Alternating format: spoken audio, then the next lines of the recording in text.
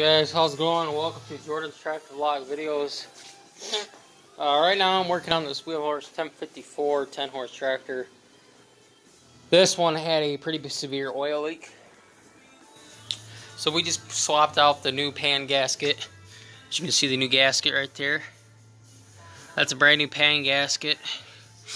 And then I cleaned up the base and the bottom wire wheel, cleaned them up, ground them, smoothed them.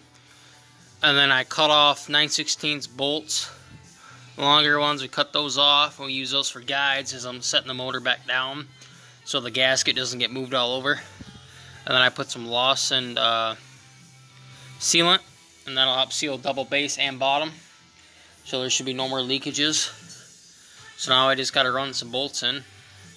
This tractor's original oil bath, which is right here. Here's the oil that was in it, which I've changed recently. You see it's still pretty good. The oil that came out of it is not very good, which is black, so I'm going to change that out. So yeah, I was working on this one today. Not much left to do, other than bolt it back together, throttle choke cable, and yeah, should be back in the business soon. We got the other 1054 on the other side that needs work yet, but not too much. So that's where I'm at. So I'll let you guys go so I can get back to work. Thanks for watching. Be like and subscribe to the channel. Thanks again.